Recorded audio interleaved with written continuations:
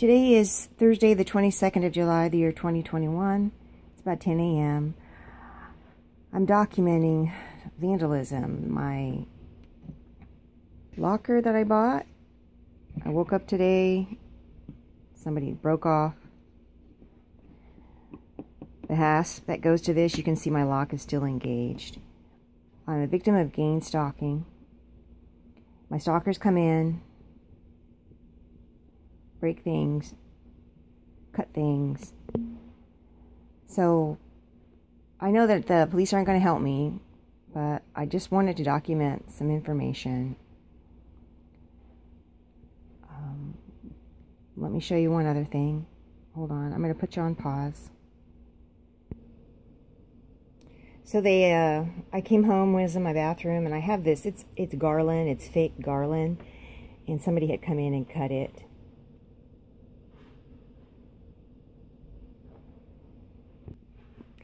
Okay, so I was gonna stop doing videos because I felt like they were unproductive and mostly it just exposes, you know, how well our stalkers are doing.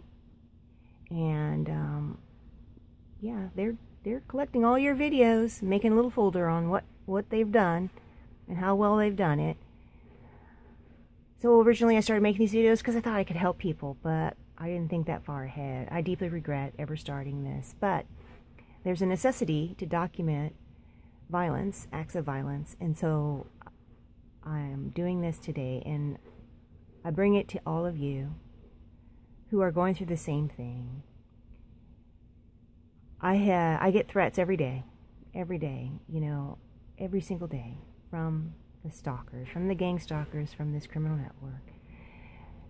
And the, you know, you ignore the threats. There's nothing you can do, but mostly it's about, you know, taking everything I own type of thing. And I just want to be at peace about all of this. We know that these are challenges to our faith. It, it works out the quality of our faith. And I think that based on your faith, I guess the health of your faith, they're going to target you to see if they can break you down. They see your weaknesses. I am not materialistic. I have had to move several times because of the stalkers. I've had to dump my life, got rid of so many beautiful things I wish I had.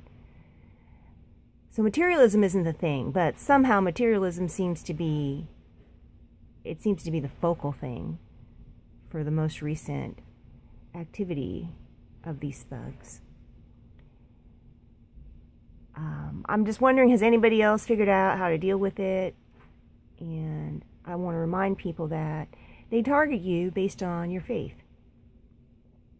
What's the quality of your faith? Remember, the scripture talks about not your works that Jesus would present after it's all over, but thing that something that's more more valuable than gold, your faith.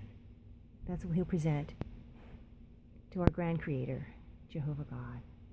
So,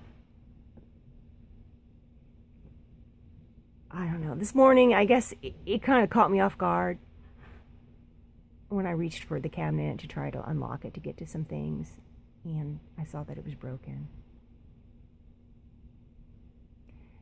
So, targeted individuals, what are we what are you doing about this? I mean, is there anybody else out there? And just so you understand, I know that my account is shadow banned, so that means they're able to manipulate who can comment, who cannot comment. And I know there are a majority of people probably are the thugs in the criminal network. But if somebody can get through and offer a beneficial comment, or if you haven't been commenting, it'd be great to hear from you, to, you know, how you've been managing this part, if this is something you're doing. And um, I want to remind you, don't help them. Don't make videos that helps them document how well they're doing. Seems like I'm contradicting myself. I'm not. I need to document this one episode because every it's it continues to happen. And I want some evidence to be out there for whatever it's worth. So may God's peace be with you today and stay strong.